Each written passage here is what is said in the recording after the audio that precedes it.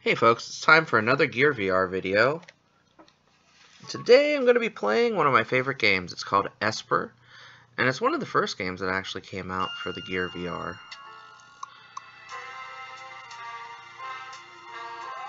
I'm actually going to turn the volume down just a bit.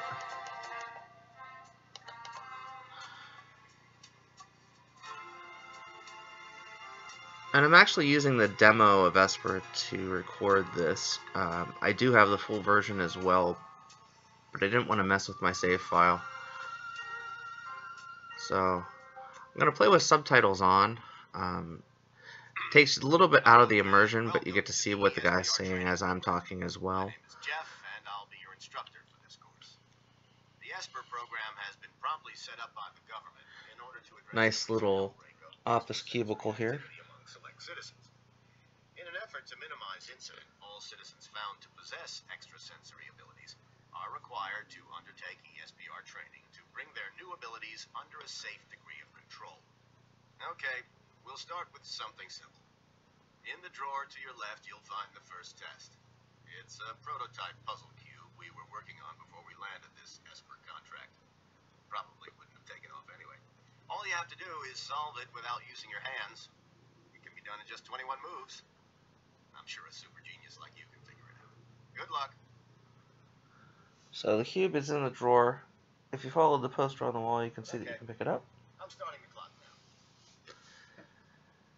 now. And I'm just going to concentrate on it, and I'm going to be able to change the shapes. Or maybe not. Why did you drop it? You have to tap your right temple once to start concentrating, and tap it again to stop concentrating. Even if that does seem a little cliche. Uh, okay, stop. Uh, Jim, they're not solving it. Yeah, just holding it there, moving it around.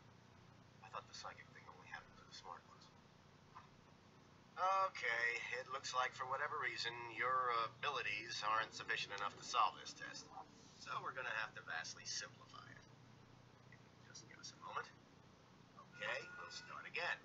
For this first test, just pick up the cube and place it on the big bright box. Well done. Okay, we can't do these next tests if you couldn't manage the first one. So this So first test is a good ease into virtual reality because you're kind of just moving your face back and forth. Um, what I like using this particular Esper demo for is actually showing Okay, friends so virtual reality. objects in all three because now you can actually slide it You just have to move it forward and back. forward while holding the cube.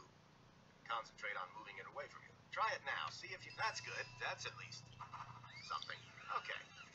Let's see if you can. Pass And that's kind of the mind-blowing experience for folks that have never used VR before is sliding it forward and back um, and actually giving that third dimension and depth. smarter than I thought. Our observations have found So the game gets ex- can't pick up an increasingly more difficult as you go. Something else gets in the way while you're holding it. Drop it. Each puzzle leads to another more difficult puzzle. far away you can move the cube. Can you touch the target at the end of the room?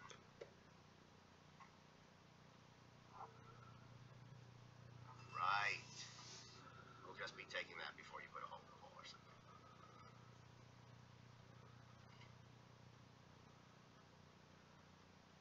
But overall, it's an interesting ambiance. You've got the office here. You're in a swivel chair. I'm not currently in a swivel chair, so I'm not going to be able to really look behind me, but you don't have to look behind you. It didn't make it out of the end of the tube. Well, great. Now it's stuck behind the glass. Just wait there and we'll send for someone to get it out for you. hmm hmm Right. They're on their way. Sorry about this. The ball was meant to fly out of the end of the tube.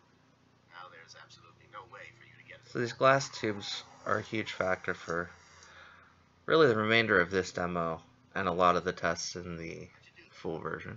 You're not supposed to be able to. uh, Get out through the glass.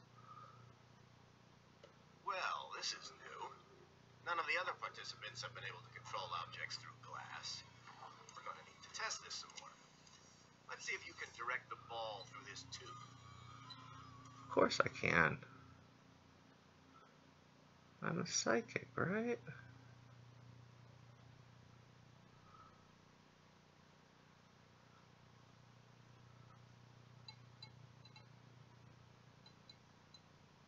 Interesting. Let's try it with this paperweight.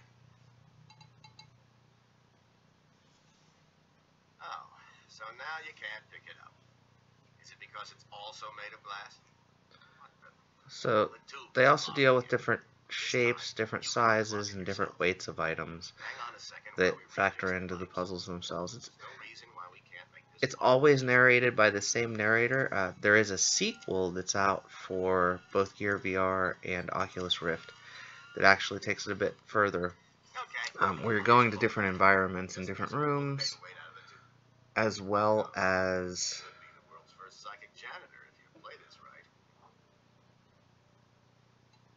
let's see, I want to go this way. I think, or not. the Oculus Rift and, and the Gear VR for the sequel, which is just titled Esper 2, has multiple narrators, multiple rooms, and a bit more challenge as well. I actually like the first game a bit more though than the second.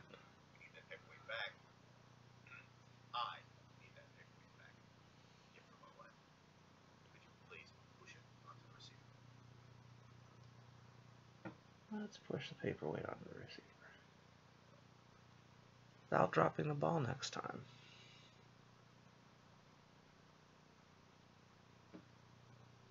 But overall, it's something that there's no locomotion, so it's not an issue for people who just want to sit down and experience virtual reality for the first time. testing, shall we? So I really do think that this is one of the best tests that you can use uh, as a demo for new users. Um, I, I fire this up when I have my Gear VR out with me just to show people something that's a little bit better than what they can get with a Google Cardboard. Um, and I think overall, you know, you can ease them into it, show them some 360 videos, show them some Right, so that hasn't changed. You can't control objects if you can't see them. Good to know. Don't think that means you're getting out of this test, though. It's still perfectly solvable if you take the correct route.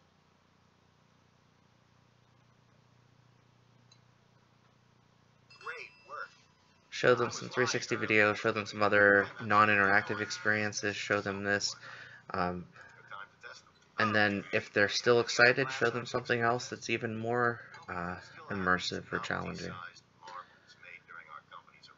Uh, in this case, again, you're kind of a janitor again. You're moving the ball to knock the marbles into different spots.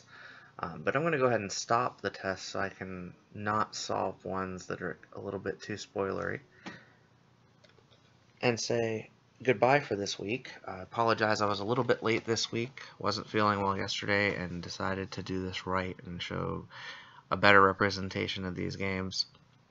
So, hope you enjoyed the video for this week. I'll be back next Sunday, um, or at least sometime next week, with more videos for both Gear VR and HTC Vive. If nothing else, hope you get out there this week and enjoy yourself some VR. Thanks.